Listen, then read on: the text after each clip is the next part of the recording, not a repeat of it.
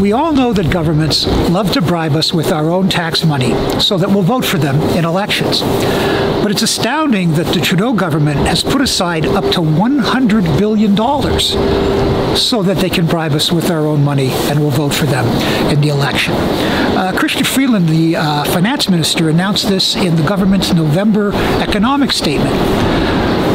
Said that the government would spend a minimum of $70 billion and a maximum of $100 billion over three years, starting this April and going to March of 2024, to help the economy recover after the pandemic recession recedes. In the spring, when the virus is under control and our economy is ready for new growth, we will deploy an ambitious stimulus package to jumpstart our recovery spending roughly 3 to 4% of GDP over three years, our government will make carefully judged, targeted, and meaningful investments to create jobs and boost growth.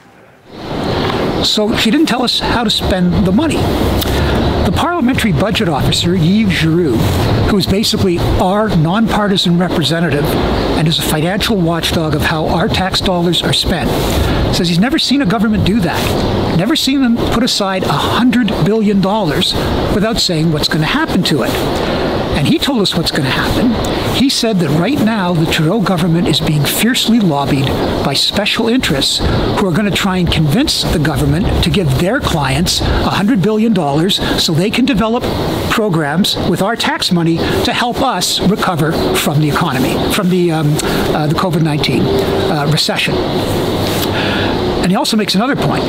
This is again Giroux, the parliamentary budget officer, says he doesn't think the government has to spend $100 billion or up to 100 billion over three years.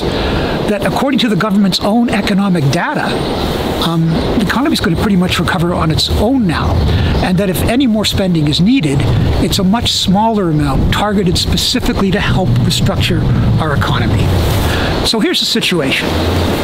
Our current annual federal deficit is almost $400 billion. Our total debt, which is all the deficits, is over $1 trillion. And now the Trudeau government wants to add $100 billion of more debt that its own financial watchdog says we probably don't need to spend. Really doesn't sound like it makes much sense, does it? Unless, of course, your plan is in the next budget, whether it's this spring or in the summer, to load up us with $100 billion worth, up to $100 billion worth of election goodies, so we'll vote for them. I'm Lorrie Goldstein of Sun Media.